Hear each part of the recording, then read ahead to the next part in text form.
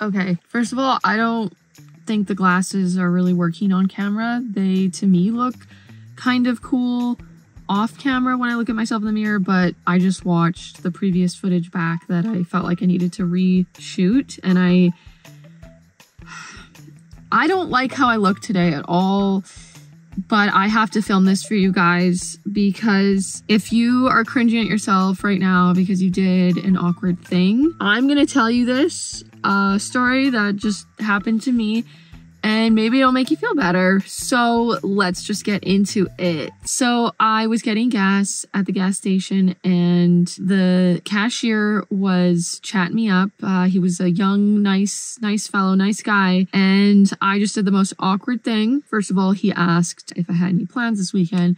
And I could have just been like, oh, you know, I don't know, not much, just chilling. How about you? But uh, no, I had to be like, oh, I'm going to uh, a, fu- a funeral to go to um, because there there's another funeral. Tragically, a cousin of mine passed away. I wasn't close with him, but still it was a shock to the family and anyway so yeah I, I had just actually wrapped up a previous funeral recently for my grandma so anyways he asks i say i'm going to a funeral he was like it's always just not uh, what did he say? Something just like, yeah, those things are tough for the vibes or whatever.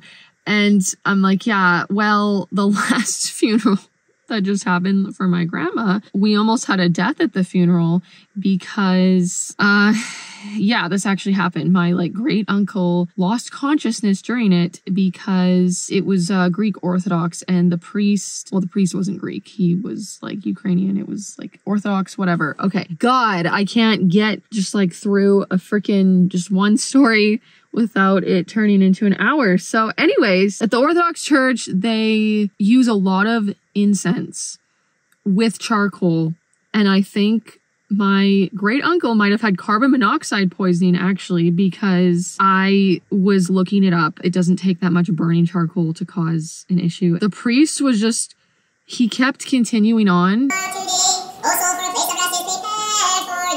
It was quite a while until he actually stopped. Like someone was literally dying. He got checked out. Like the paramedics arrived mid funeral. And anyways, he's okay. But it seemed like it was the incense that caused him to lose consciousness, whatever. Anyways, I told this story, not like that. I swear to God, it was quite succinct. Not super succinct, but it was way more succinct than I just told you guys there about what happened. Um, I mentioned this to the cashier at the gas station, but when I said the word incense, I said, I said, incest. I said incest, but I immediately knew I said that and um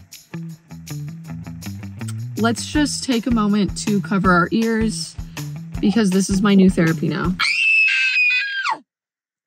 I said incest. Obviously, it's very awkward. I went bright red, I'm sure. I could feel it that I was getting pretty hot. He was like, oh, incense. I was like, eh, Oh my God, so awkward. I knew I said the wrong word, but I don't know if this was like karma in a way. When this situation happened at the time, my mom, we were talking about it and she said incest. She didn't even realize, I think she had said it incorrectly, but she was like, oh yeah, no, I think it was like the incest that, you know, caused it, whatever. And I was like, incense. And um, I think I had a thought at that time of how awkward it would be to mess that one up to say incest. It didn't matter though, because it was just like in front of me, I think. I just remember thinking, well, that's an awkward one. she, oh my God, so awkward. She said incest. But I wasn't, I didn't show that on the outside, but I like had little thoughts like that. And then this happened to me. And then this happened to me, it's actually not that bad. It was awkward. I just, I was like, I gotta get the hell out of here. Uh, and it's okay. It's whatever. I've been watching this guy's videos. His name is Julien himself on YouTube, and it's just all about embracing the awkwardness and whatever. And like, I'm already just socially anxious. I think I needed that to just be like, it's just silly. It's hilarious. It's just fun. Who gives a frick? Like, why am I stressing? I know why I am. Okay, childhood trauma, whatever. But uh, in the gas station, I was waiting, they fill up your car for you. So I was like just standing there and the guy was filling it up for me. So just waiting so that I could pay. And I was like purposely trying not to go on my phone to just sit in the awkwardness, like just stand in the store. I kind of looked around, I kind of fake looked around a bit to do something because it was awkward to just stand in front of those guys. And I didn't care to like start a conversation. So for a while there before I went up to pay, yeah, I was like trying to do the thing of to just embrace the to be in the moment and not just go on my phone. Like everyone is doing. Everyone's just always going on their phones. And to avoid and like dissociate from the moment to just excuse me stand there and be awkward and bored or whatever. And then i went to go on my phone because i was like i can't handle this but i actually left my phone in my car so i couldn't and it's just like interesting how that build up like that happened and then it was like almost done the car i think i asked uh, I was just being awkward because I was like, oh, I'm sure they know what they're doing, obviously, but I was just in case, like, I'm always just doubting myself when things like this happen and when it, it's just like, oh, maybe I'm supposed to go fill it up this time. Because I thought I saw the guy at my car when things went into motion and then I saw at the window that no one was at my car anymore. So I was like, am I, am I supposed to go fill it up? Or he's like, oh no, he's still, he's doing it. So I don't know if the guy left and like went back and I just thought it had maybe been done by then. And then it was like, ah, I didn't need to ask. I could have just kept waiting, but I was just so, so uncomfortable to wait, I guess. And, um,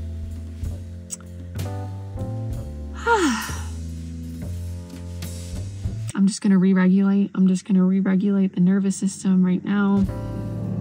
Also, I have a bit of a mustache. Just wanted to let you guys know that's something that I want to take care of, but I'm not going to let it stop me from filming, but I'm just sort of feeling awkward right now about how I look. Like my hair is a sucky, gross mess. I filmed an entire video ranting about my hair and the issues with my hair that I cannot figure those out. Whatever. Okay, so that's gonna be coming out soon. But anyways, okay, just so um let's sum it up. I, I said, said incest. incest. I, I said, said incest, incest instead, instead of incense. incense. And I just wanted to let everyone know that because it's okay that I said that and it's actually kind of fucking hilarious.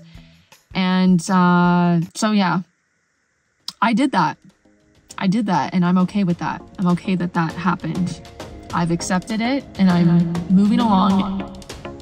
It's funny. It's great. It's awesome that that happened. It's awesome that, okay. Okay, bye. Trying to deal with that awkward piece of, um, what is it? That like piece of fabric from my sweater that got stuck in the sunglasses that I didn't notice. I'm trying to deal, that's annoying.